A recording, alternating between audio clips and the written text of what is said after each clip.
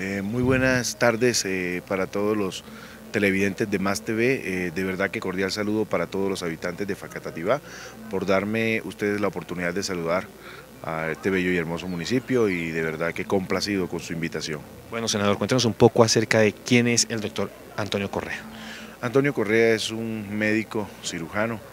que se ha dedicado al servicio social y que a Dios gracias y al pueblo colombiano ha podido estar en el Congreso de la República en dos oportunidades. Actualmente somos el segundo vicepresidente del Senado de la República y estamos en toda la disposición de colaborarle a Facatativá en lo que Facatativá y sus habitantes a bien necesite de este humilde servidor, el cual se encuentra al servicio de Facatativá y viene a pedirle el favor de que pudiese acompañar en compañía del próximo representante Carlos Ferro eh, en el Senado de la República, Antonio Correa como opción ciudadana número uno. Bueno, doctor, cuéntenos un poquito acerca de esa trayectoria suya en la política colombiana y todos esos proyectos que se han presentado en el Congreso. Hemos presentado proyectos eh, que van encaminados hacia el mejoramiento de la calidad de la prestación del servicio de salud.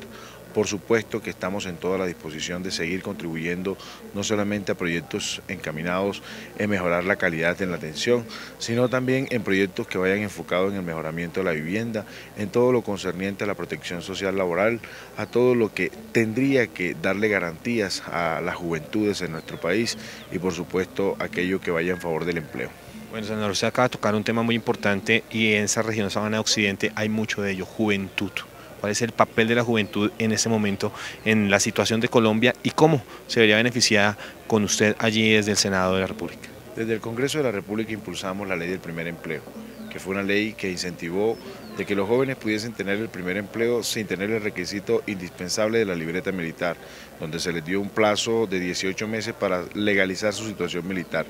Por supuesto, estamos en toda la disposición de construir todos los escenarios necesarios, no solamente para que el joven tenga emprendimiento, sino también para que el joven tenga oportunidades de hacer sana recreación y deporte y evitar de que sea atrapado por el flagelo de la droga. Bueno, senador, ¿por qué Facatativa hoy? ¿Por qué Cundinamarca? Hombre, estamos al lado de un gran amigo, de un hombre que ha sido congresista, de un hombre que conoce el Ejecutivo, de un hombre que conoce la cosa pública y hoy nos encontramos verdaderamente contentos de estar aquí al lado del ex senador próximo representante Carlos Ferro,